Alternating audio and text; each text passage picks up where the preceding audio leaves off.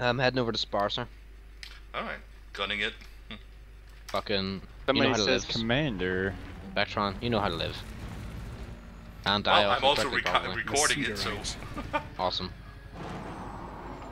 Okay, let's see. I've uh, added Uh, Nice some. who and is flat as well, Louis? Jaeger. Oh shit! Oh shit! Louis oh shit! C. Oh shit! He's oh in shit. uh, Super Cruise. He's trying to talk to me. Whoops. What's his name? He, or, Louis C. sorry, what's he saying? He says, Commander, I mean no harm. I would simply like to ask you a question. I shall ignore your bounty. Please. Ah, fuck. Say, what is it? What's he in? That would be How in the fuck did I survive that? best in-